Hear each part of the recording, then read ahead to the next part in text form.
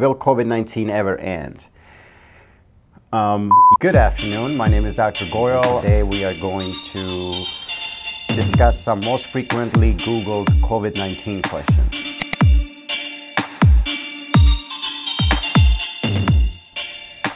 The next most common Google question is Does coronavirus cause sore throat?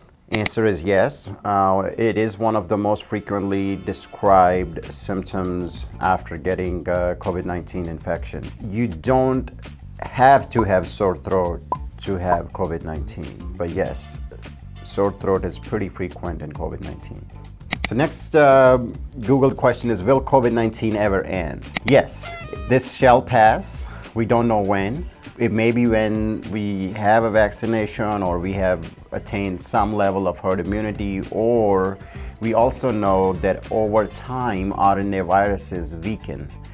So any number of those three things can happen or, or a combination of these things and I do believe that eventually COVID-19 will be behind us.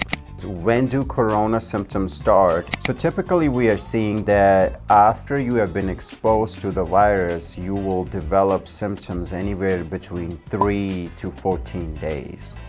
On average, about 5 to 7 days of um, after getting exposed, you will start noticing symptoms.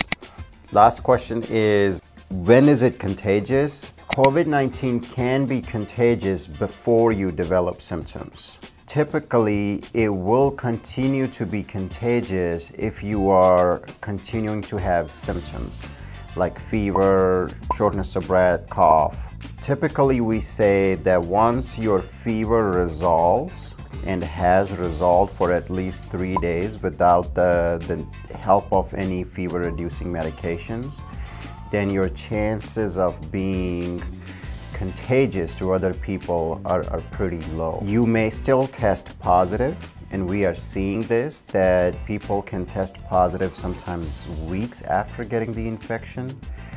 But again, the contagiousness for the most part, once the symptoms start resolving, goes away. Don't let the current situation make it hard for you to have excellent access to healthcare.